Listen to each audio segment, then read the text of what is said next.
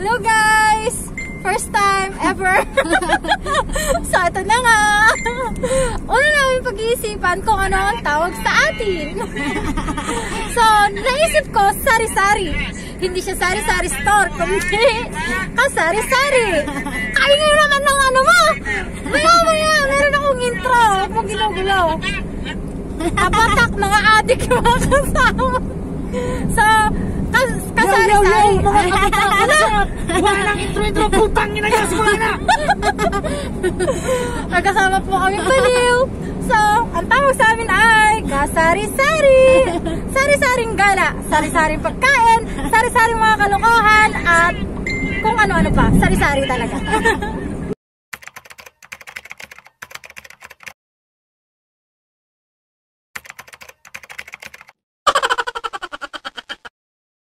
Kami po ay maninihi. Anong maninihi? Another term. Maghahalaan. Yo, yo, yo, what's up, what's up, mga kabataan? Marami talaga magugulo sa buhay. Yan, ah,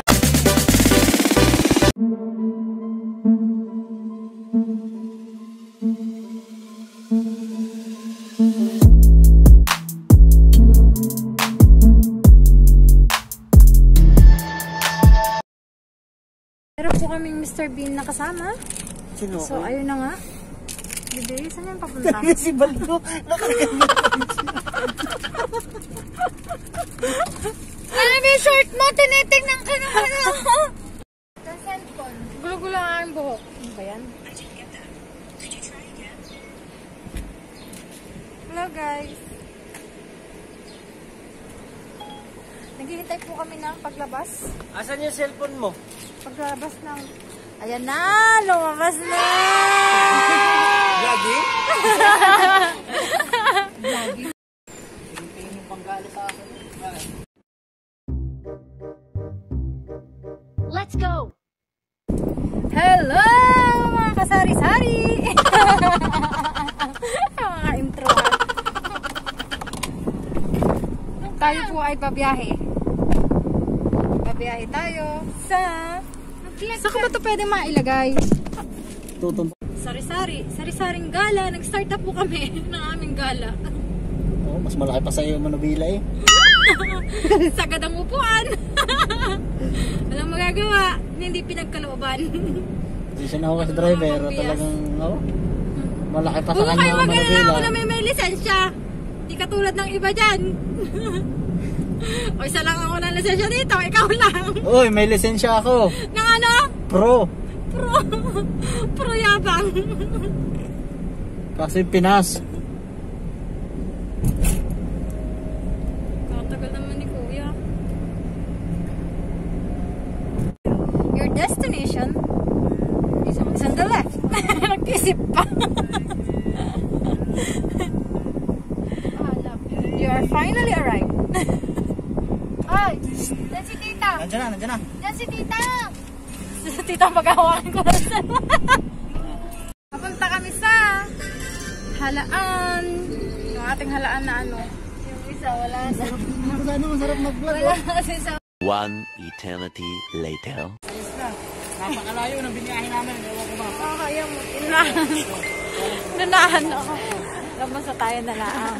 Pagkatapos ng aming paglalakbay, tirik pa ang araw nung kami nagbabiyahe.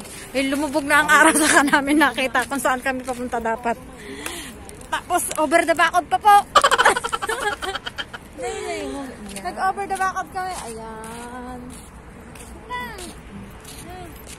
Guys. No.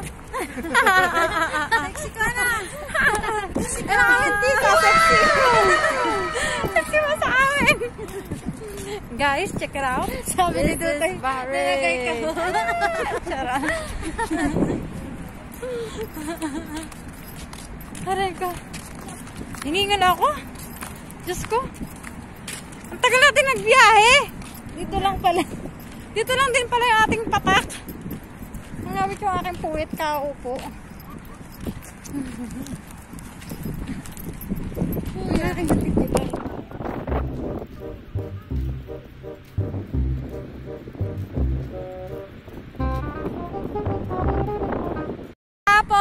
aming mahabang paglalakbay, Wala.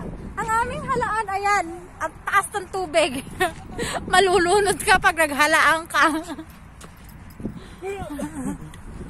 so, yan lang ang pinunta namin dito. Hindi maganda yung Ang ano. dungawi ng mga bato. Mas maganda pa yung tubig sa marina eh. So ano, hihintayin natin ang pag-low tide. Ito pa nagkakailan ko. Ang tubig ay kulay putik. Hindi siya asul.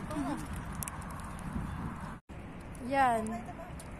Ang paninihi na uwi sa tambay.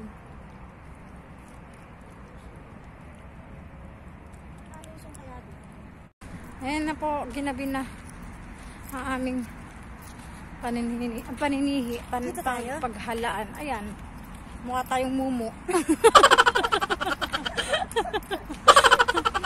ang aming halaang, ewan ko ba, inabot na kami ng ano, lubog ng araw. Alas 10 pa yan. Kung kami sa palengke nagpunta.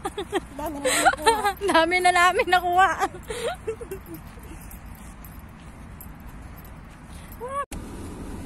Pauwi na kami. Dami namin nakuha ang ano. Hindi siya cookies. Dami na nakuha hito. hito? Hito at dalag. Wala nangyari sa amin. Next time na lang daw, sabi ng mga sihi at sila'y ano, nalulunod pa.